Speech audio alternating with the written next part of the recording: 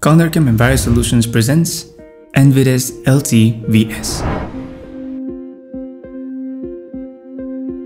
The vacuum system starts working with tap water, generating the vacuum necessary for evaporation.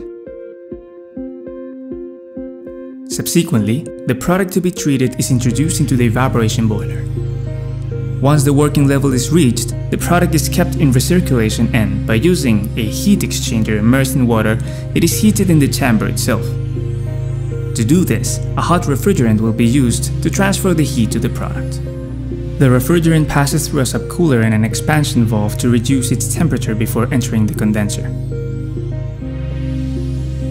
The product increases its temperature, causing the evaporation of the volatile fraction.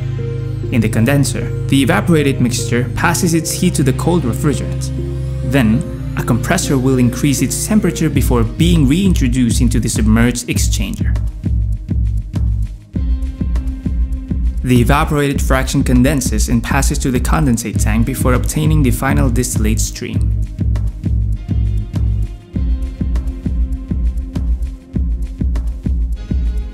Once the parameter for which the download has been programmed is met, the equipment stops progressively. First, the refrigeration circuit stops and the product is no longer introduced into the evaporator. Secondly, the vacuum circuit is also stopped.